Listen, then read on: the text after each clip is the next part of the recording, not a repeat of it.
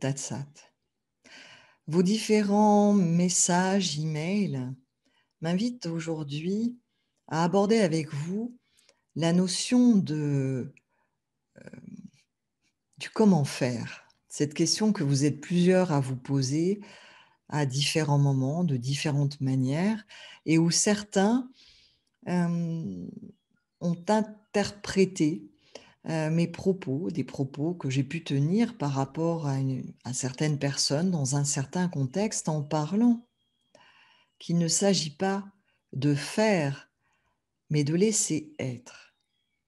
Alors je souhaite revenir, entre autres, je vais prendre comme appui, si vous le permettez, le partage de la dernière vidéo de Virginie.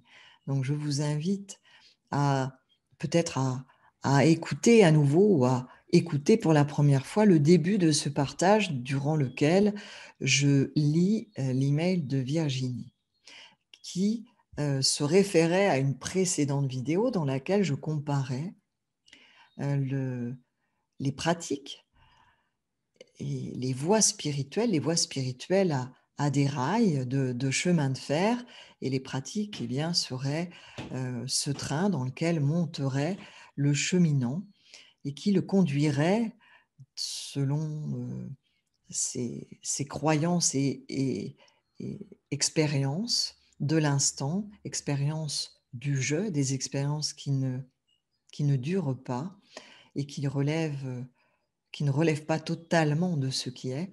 Ces pratiques, ces voies sont censées conduire le cheminant en gare d'éveil.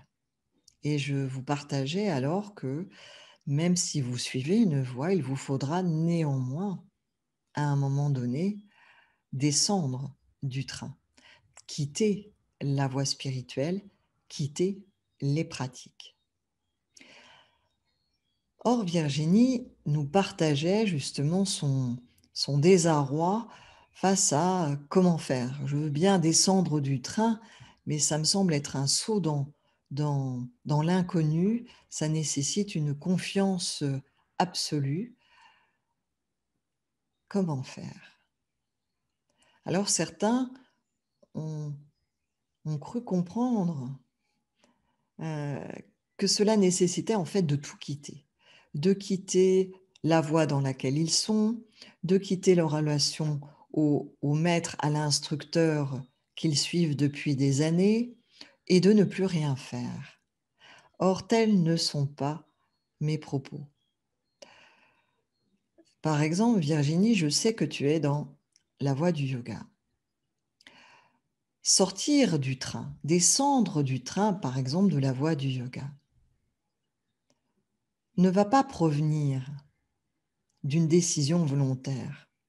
Il ne s'agit pas d'une descente euh, du train physique, il ne s'agit pas de euh, quitter volontairement une voie en s'en remettant autant que faire se peut euh, à la vie en espérant que l'éveil euh, va vous tomber dessus.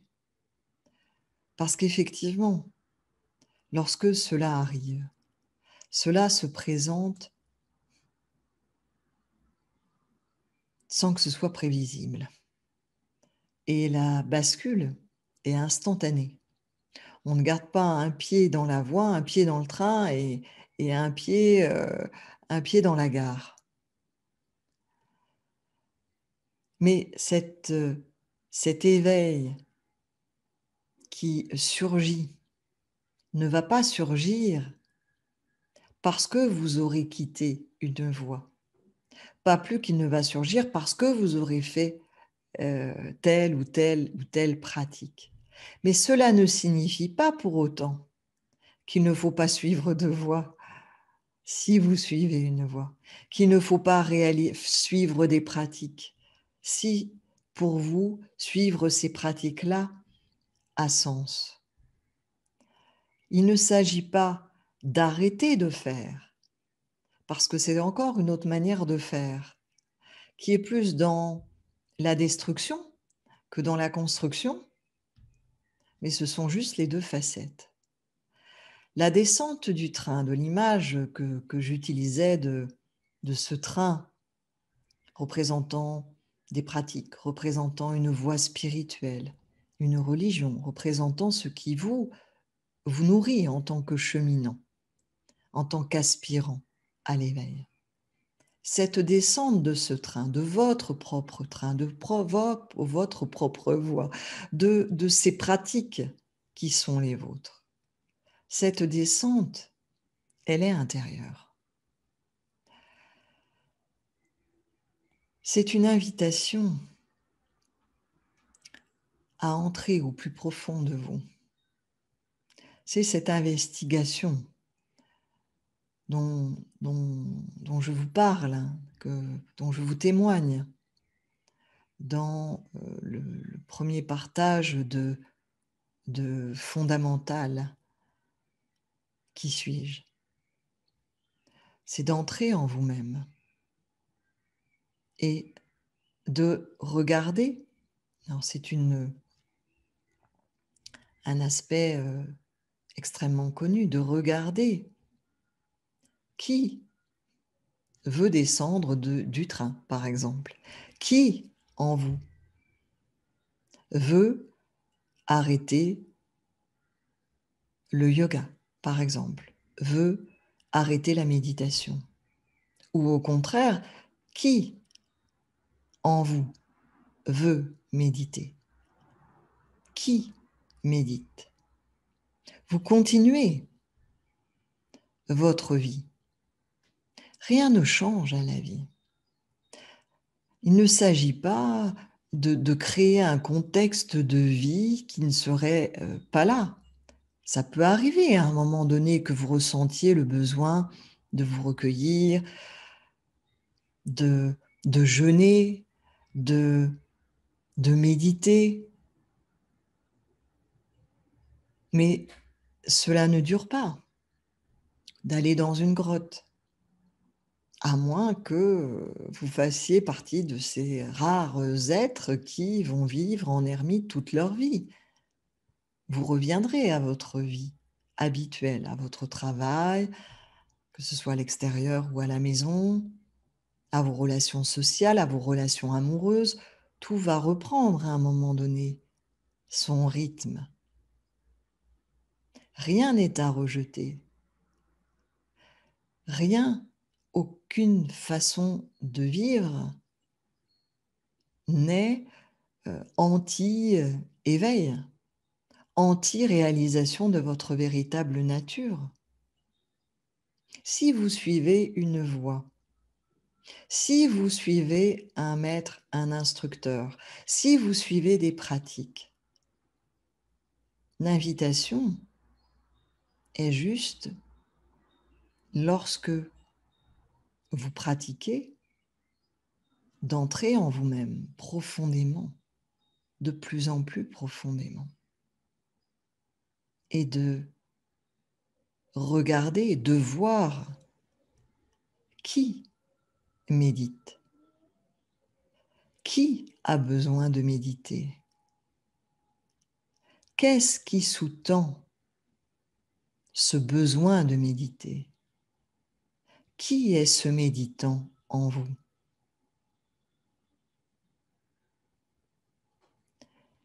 Qui pratique? Qui a besoin de pratiquer? Pour revenir à la question, au partage de Virginie qui, qui disait, mais n'a-t-on pas besoin d'un maître, d'un guide pour nous éclairer?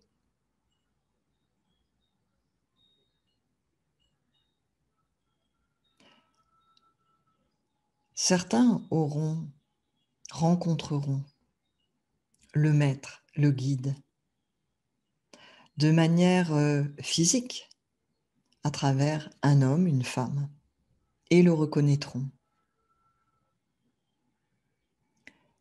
Mais là encore, en tout cas dans la la voie du yoga que je suis, que j'ai suivi, mon maître en yoga, Swami Pranyananda Sarasvati, nous disait très régulièrement un jour, il vous faudra tuer le gourou. Le maître, l'instructeur, celui qui éclaire ta route, n'est pas là pour que tu le prennes comme objectif. Il éclaire ta route. Et toutes euh, les projections qui se font naturellement de la part de, l'aspirant à l'éveil. Lorsqu'il y a un maître ou un instructeur, eh bien, je vous invite à aller voir de sorte de ne pas vous placer en dépendance, de ne pas euh, vous sous-estimer. Bien évidemment, le maître, le guide, l'instructeur, en tout cas, je vous le souhaite, à réaliser ce à quoi vous aspirez. Choisissez un maître, un guide, un instructeur bah, qui a, a réalisé, qui est le spécialiste dans ce à quoi vous-même vous aspirez? Si vous aspirez à l'éveil et que vous avez choisi un maître, un guide, un instructeur, euh, par exemple dans le yoga qui transmet un yoga bien-être, il va bien falloir vous, à un moment, euh, aller au-delà du maître, de l'instructeur, pour trouver votre liberté, pour trouver votre, voie à vous, si vous êtes dans une voie du yoga. Il vous faudra vous libérer de, bah, de votre lien avec ce maître, avec cet instructeur. Mais si vous êtes avec un maître, un instructeur, un ami spirituel, qui est véritablement là pour éclairer le, la route, tout simplement, vous serez complètement libre. Et si vous projetez, il vous recadrera, ou la vie vous recadrera, pour vous rappeler que ce n'est pas l'instructeur, le guide, le maître qui est l'objectif. N'oubliez pas ce vers quoi vous aspirez. Et si c'est l'éveil, cela ne peut être un maître, un guide, un instructeur qui soit votre objectif. Mais à un moment donné, Bien sûr, quand je dis euh, tuer le gourou, il ne s'agit pas de le tuer physiquement. il va vous falloir vous libérer, vous-même, de votre dépendance, de votre attachement, de vos attentes, de vos transferts réalisés sur le maître, sur le guide, sur l'instructeur. Parce que sinon, vous êtes prisonnier et le maître, le guide, l'instructeur devient un frein à l'éveil alors qu'il est censé éclairer la route.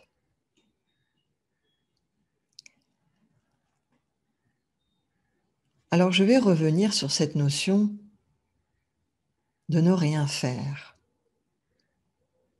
Parce qu'effectivement, il m'est arrivé de vous dire, mais dans une certaine conscience, dans un certain partage, et en réponse à certaines personnes.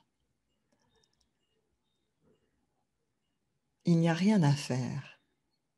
Parce que ce n'est pas une pratique, ce n'est pas des circonstances particulières, ce n'est pas parce que vous êtes né tel ou tel jour, telle et telle année, que votre carte du ciel est ainsi, que votre roue de naissance est ainsi, que vous seriez ou pénalisé ou favorisé pour réaliser l'éveil, pour réaliser votre véritable nature, qui, je vous le rappelle, n'a rien à voir avec une, votre identité, avec le jeu. Il n'y a pas de circonstances particulières, il n'y a pas un contexte particulier, il n'y a pas une voix particulière, il n'y a pas le truc, le mantra, la respiration, le pays, le lieu, le maître qui va vous permettre de réaliser l'éveil. C'est dans ce sens-là. C'est-à-dire ne pas croire que c'est parce que je vais méditer pendant 10 heures euh, par jour que je vais réaliser l'éveil. Certains êtres qui ne connaissent rien au yoga, rien à la méditation, tout d'un coup, ouvrent une porte d'armoire et sont éveillés, voient un bocal euh, marqué euh, le vide ou vide, un bocal vide, et la pensée du vide, tout d'un coup, le mental euh, bug et l'éveil surgit. Donc, quand est-ce qu'une personne m'a demandé, mais quand est-ce que ça va m'arriver? Je n'en sais rien et je pense que personne ne pourrait vous le dire. Parce que ce n'est pas une notion de quand, quand est-ce que l'éveil arrive? C'est quel est le contexte dans lequel l'éveil arrive? Ça n'est pas lié au temps, parce que l'espace-temps, c'est cette roue dont nous parlions, du hamster, c'est la, la roue euh, euh, du dharma, la roue des réincarnations. Or, l'éveil est en dehors de cela. C'est pas une notion de quand. Tiens, ben mardi, on va prendre rendez-vous. Bon, on va se dire là, euh, dans, dans, une semaine, hein, ça va être là, ça va tomber. Là, tu bouges plus. D'ici là, tu, tu fais un certain régime et puis tu fais des, euh, des, des, pratiques yogiques. Et puis, c'est sûr, là, l'éveil, il va te tomber dessus. Ou alors, tu vas à tel endroit, tu répètes autant de mantras et là, tu es sûr, ça va te tomber dessus. C'est pas comme ça. Parce que ce n'est ni par ce que vous allez faire, ni à un certain moment, ça n'est pas dans le faire ni dans le quand, mais plutôt dans le comment. Ça n'est pas non plus comment faire, avec quoi, comment faire, mais le contexte dans lequel l'éveil peut surgir. Et ce contexte est lié à la non-identification.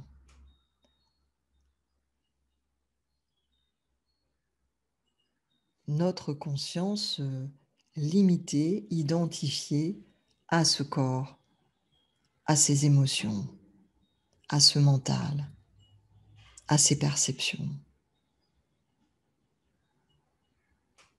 à ce que nous voyons, les cinq objets d'essence.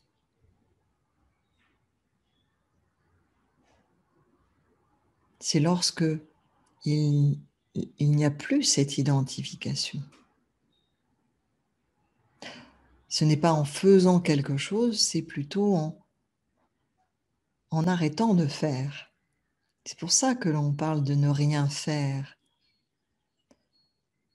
Mais vous pouvez très bien agir dans le monde en ne faisant rien. Parce que la conscience n'est pas identifié à ce corps, n'est pas identifié au sujet.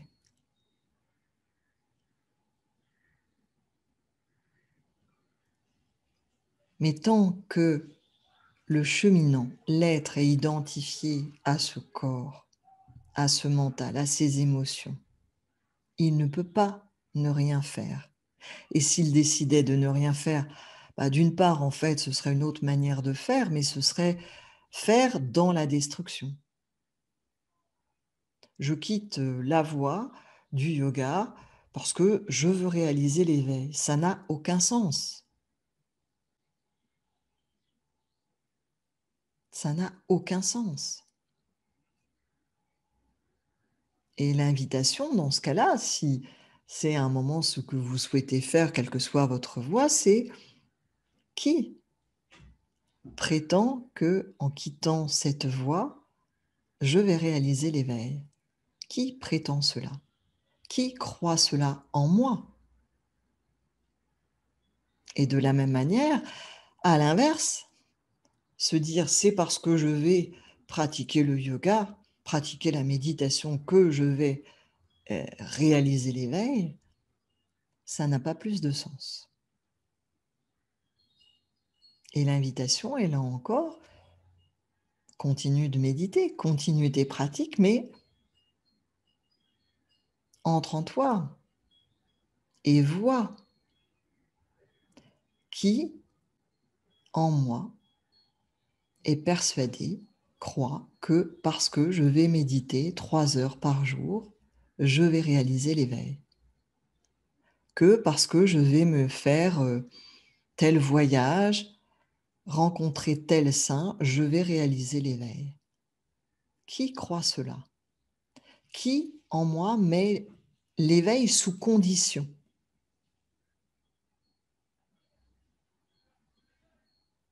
Sous des conditions d'action.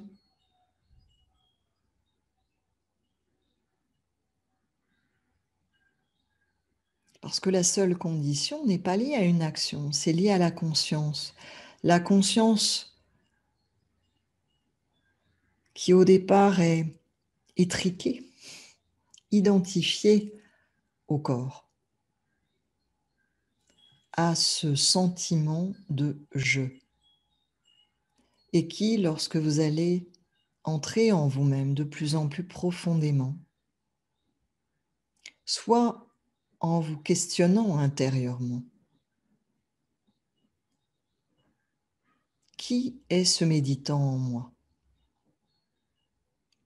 Mais sans chercher la réponse mentale après. Hein, il ne s'agit pas de dialoguer, de tenir tout un discours. Vous utilisez le mental, mais pour après aller vers la vision, vers le, le ressenti intérieur, la vision, tout comme nous avons euh, joué à, euh, voir intérieurement l'espace de notre corps. Pourquoi je dis jouer? Parce que effectivement, dans le partage, la transmission précédente, je vous disais, s'il vous plaît, si vous répétez, euh, réécoutez la vidéo et que vous essayez à nouveau de d'être conscient de l'espace de votre corps, que vous le faites dans votre vie, que vous le vivez, s'il vous plaît, ne le vivez pas comme une pratique, parce qu'une pratique est saisie par l'ego, le mental, le jeu, qui là se dit, ça y est, hein, là j'ai un bon truc, tout est bien carré, ça tient dans la boîte, je vais pratiquer et je vais y arriver. Mais qui pense cela en vous? Voyez-le. Et je vous invite plus à le vivre. Et s'il faut utiliser un mot, ben, je préfère celui de jeu. Pourquoi? Parce que quand les enfants jouent en faisant comme si, ils font, ils vivent, ils expérimentent, mais ils jouent. Il n'y a pas un essai à reproduire ce qui a été vécu avant, même si pendant une semaine, euh, ils vont jouer euh, aux, médecins, euh, aux docteurs et aux malades, aux Indiens et aux, aux cow-boys. Chaque jour, ils réinventeront le jeu. Alors que dès lors qu'il y a une pratique, elle est déjà figée. Hein, le, le, mental, l'ego, verrouille tout, il saisit, il est bien content, ça y est, il a de quoi se nourrir, il sait enfin quoi faire, comment se comporter, qui être. Et c'est pour cela que je vous invitais à euh, ne pas pratiquer, ne pas avoir l'esprit d'une pratique. Ce qui ne veut pas dire ne rien faire.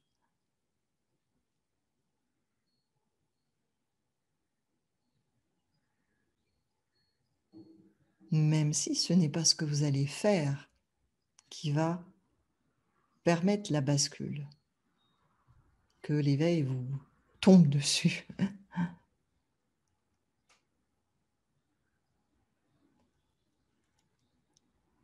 Et l'investigation est un moyen extrêmement puissant, rapide, accessible à tout le monde. Mais encore faut-il couper le mental, ne pas dialoguer intérieurement derrière les questions se laisser être imprégné, rentrer en vous, rentrer en vous profondément au lieu de remonter avec une réponse mentale. Si, par exemple, vous, vous voulez méditer et vous vous dites, tiens, je vais me poser intérieurement la question en méditant, qui médite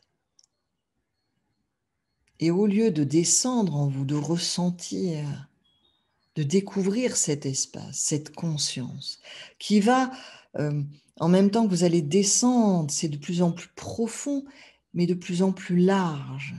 Et c'est la conscience qui va s'ouvrir. Ce n'est pas une descente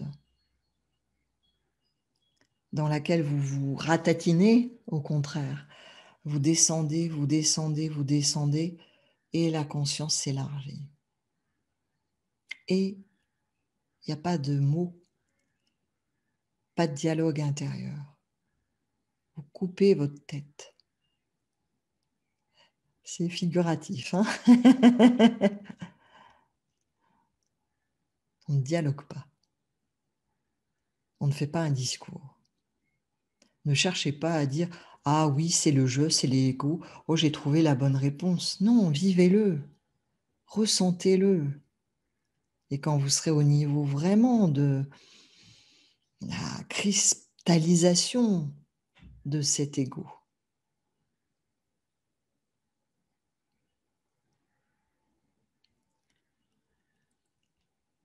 voyez ce qui sous-tend, ce que vous appelez l'ego ce que vous appelez le jeu. Qui est ce jeu? La très célèbre question de Ramana Maharishi. Ramana Maharishi. Qui suis-je? Suis-je ces pensées? Suis-je ces émotions Suis-je ces sensations?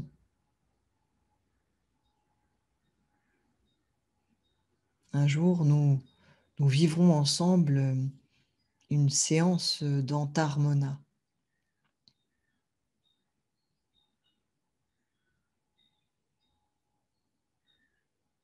Qui suis-je?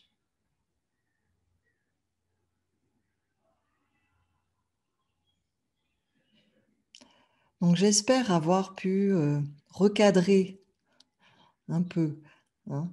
Euh, n'hésitez pas à, à, me, à vos partages. Vous voyez, même un partage simple sans question me permet de, de, de voir euh, ce qui nécessite d'être, d'être formulé autrement, d'être à nouveau éclairé, d'apporter des précisions.